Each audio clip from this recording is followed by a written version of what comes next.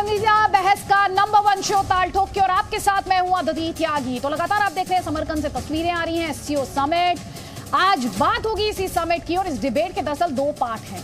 एक तरफ़ prime minister Modi पूरे तरीके से कॉन्फिडेंट दिखाई देते हैं तो दूसरी तरफ़ शाहबाज शरीफ, जिनकी बत्ती गुल दिखाई दे रही है, उनकी नर्वसनेस की तस्वीरें लगातार वायरल हो रही है। डिप्लोमेसी में कई बार नजदीकियों की नहीं, दूरियों की भी काफ़ी अहमियत होती है। पास आकर नहीं, बल्कि दूरी बनाकर भी काफ़ी स्ट्रॉन्ग मैसेजिंग देने की कोशिश की जाती है। तो यहाँ पर आप इस तस्वीर को जरा ध्यान से देखिएगा। एक तरफ़ आपको प्राइम मिनिस्टर मोदी दिखाई देंगे तो वो तस्वीर भी हम आपको दिखाएँगे जब आप उस दूरी को देख पाएँगे। ये तस्वीर थोड़ी देर पहले आई थी प्राइम मिनिस्टर मोदी की टर्की के राष्ट्रपति अर्दवान के साथ मुलाकात की तस्वीरें और टर्की का रुख आर्टिकल 370 का एब्रोगेशन रहा हो या फिर पाकिस्तान के साथ उसकी नजदीकियाँ रही हों, उन्हें लेकर सब जानते हैं कि कैसे कई बार भारत के खिलाफ बयानबाजी टर्की द्वारा की गई है। अब एक बार फिर से ये तस्वीर है, जिसके बारे में देखिए, आपको कोने में ये तस्वीर वापस लेकर आइए। यहाँ पर आपको प्राइम मिनिस्टर मोदी दिखाई दे रहे हैं, क्योंकि हम आपसे ये कह रहे थे कि राजनीति में इंटरनेशनल डिप्लोमेसी में, अब देखिए, आपको एक कोने में आपको वहाँ पर शाहबाज शरीफ दिखाई दे रहे हैं, और दूसरी तरफ़ ये गैप देखिए, ये दूरी देखिए, और दोनों का बॉडी लैंग्वेज भी आप देखिएगा और समझने की कोशिश कीजिएगा। ये दूरी जो है, क्या ये बताने के लिए काफ़ी नहीं कि इस वक्त भारत और पाकिस्तान भले ही पड़ोसी हों, लेकिन दोनों के रिश्तों में कितनी ज़्यादा इस वक्त गर्मजोशी की कमी है। कितने ज़्यादा कोल्ड दोनों के रिश्ते इस वक्त हैं और यही बड़ी मैसेजिंग इस तस्वीर में आपको दिखाई भी दे रही है। एससीओ में प्रधानमंत्री मोदी द्वारा रीजनल कोऑपरेशन की बात की गई। पाकिस्तान और चाइना से दूरी बनाकर मैसेज भी दिया गया। एससीओ समिट के साइड बाय साइड प्रधानमंत्री मोदी कई देशों से बायोलेट्रल टॉक्स कर रहे हैं, लेकिन पाकिस्तान और चाइना से उनकी बायोलेट्रल टॉक नहीं होगी, हमारे सोर्सेज बता रहे हैं। आपसे थोड़ी देर पहले प्रधानमंत्री मोदी ने टर्की के राष्ट्रपति अदवान जिस तस्वीर का मैंने ज़िक्र किया, उनसे मुलाकात की और आपसे बस थोड़ी देर बाद रशिया के राष्ट्रपति व्लादिमिर पुतिन के साथ उनकी मुलाकात होने जा रही है। लेकिन इस विज़िट में पाकिस्तान के लिए भी बड़ा मैसेज है, साफ़ संदेश है कि जब तक वो आतंकी फैक्ट्री बंद नहीं करेगा, बात नहीं हो पाएगी। और चाइना के लिए भी कड़ा मैसेज है कि जब तक वो अपनी विस्तारवादी नीति पर ब्रेक नहीं लगाता, तब तक उससे द्विपक्षीय बातचीत का मूड फ़िलहाल भारत का नहीं है। जब कोई मुल्क कंगाली से जूझ रहा होता है तो उसमें एक अपराध बोध होता है। तो ज़ाहिर बात यह होती है कि उसका कॉन्फिडेंस लेवल जो उसका विश्वास है कॉन्फिडेंस है, वो गिरा हुआ होता है आत्मविश्वास।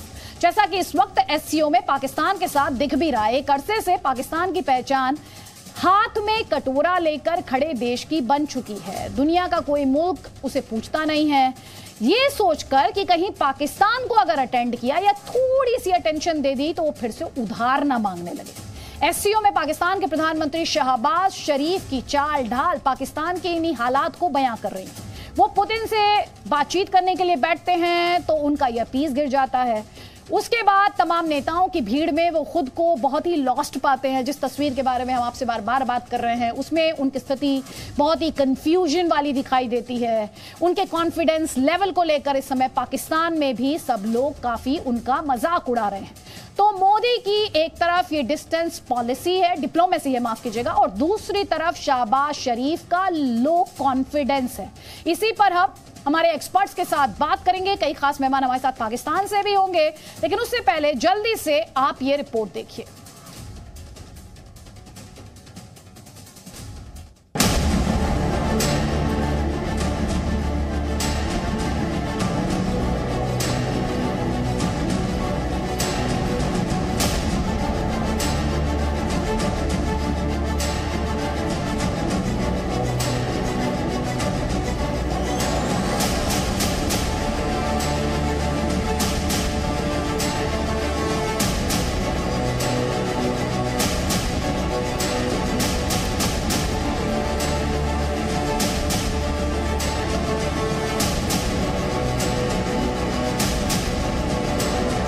आज पचहत्तर साल बाद आज कशकोर लेके फिर रहे हैं।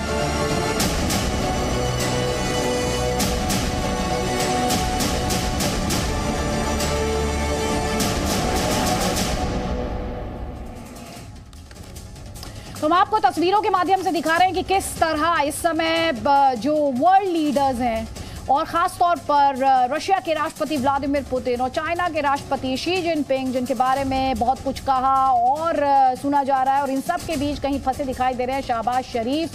देखिए ज़रा उनका यह पीस निकल जाता है जिस पर प्रेसिडेंट पुतिन हंसने लगते हैं। और ये जो कंफ्यूजन वाली, ये जो कंफ्यूजिंग बॉडी लैंग्वेज है, इसे अब ग्लोबली नोटिस किया जा रहा है, खासतौर पर सोशल मीडिया पर लगातार शहबाज शरीफ का। उनके अपने ही देश के लोग मज़ाक उड़ा रहे हैं। कई खास मेहमान हमारे साथ हैं। पाकिस्तान से हमारे साथ तैयब बलोच हैं सीनियर जर्नलिस्ट हैं, उमर अल्ताफ हैं, पाकिस्तान से ही हमारे साथ जर्नलिस्ट हैं। ब्रिगेडियर हारिस नवाज़ हैं डिफेंस एक्सपर्ट हैं। तारिक फतेह आपको स्क्रीन पर दिखाई दे रहे हैं कॉलमनिस्ट हैं और हमारे साथ शहजाद पूनावाला बीजेपी का, के नेशनल स्पोक्स पर्सन और मेजर जनरल एसपी सिन्हा हमारे साथ हैं डिफेंस एक्सपर्ट हैं। लेकिन सबसे पहले तो ब्रिगेडियर नवाज़ आप ही से, क्योंकि बहुत ज़्यादा चर्चा आपके प्रधानमंत्री शहबाज शरीफ की भी हो रही है, उनके स्टेटमेंट की भी हो रही है और उनकी बॉडी लैंग्वेज की भी हो रही है। और ये सवाल बार बार पूछा जा रहा है कि इतनी कन्फ्यूज़न या इतनी नर्वसनेस क्यों है उन्हें?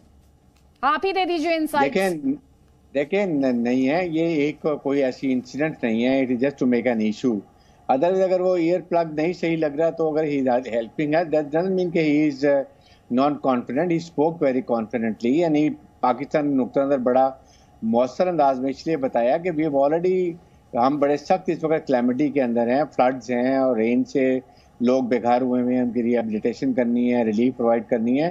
That is been talking all and that should be talking और ये ईयर प्लग निकल जाना या वो उनको नई चीज़ को लगाने का it is not an issue problem हमारी इंडिया के साथ ये है कि आप लोग हर छोटी बात को कैच करते हैं। ये हमें नहीं करना चाहिए। यही हम बात करते हैं कि now is the time to neighbour should live to live to learn learn to live together और ये मौक़ों के ऊपर एक दूसरे का ख्याल करना चाहिए। टू मेक अ जी नथिंग ये इसमें क्या फ़र्क पड़ेगा? अगर प्लग गिर गया एयर प्लग दोबारा लगा लिया बात यह है कि आपने कौन से कॉन्फिडेंट बिल्डिंग मैयर्स कर रहे हैं कि ये दो ममालिक जो बाकी दुनिया आपस में मिल रही है why can't we sit together इसके लिए क्या इंडिया को जो करना चाहिए वो कर रहा है? क्या इंडिया कॉन्फिडेंट बिल्डिंग मैयर्स कर रहा है? क्या इंडिया यूनिलेटरल कोई एक्शंस कर रहा है जो पाकिस्तान के लिए प्रॉब्लमेटिक है लाइक कश्मीर का इशू है? ये चीज़ें बैठ के ममालिक को सेटल करनी चाहिए। दुनिया भी कहाँ की कहाँ पहुँच गई है? और हम इन चीज़ों में लगे हुए मेरे ख्याल में ये हमें इस वक्त पॉजिटिव एटीट्यूड के साथ पॉजिटिव माइंड के साथ ये देखना है कि कैसे भारत का स्टैंड तो बहुत क्लियर रहा है कि आतंकवाद और आतंकियों और उनके हथियारों को भारत भेजना बंद कर दीजिए।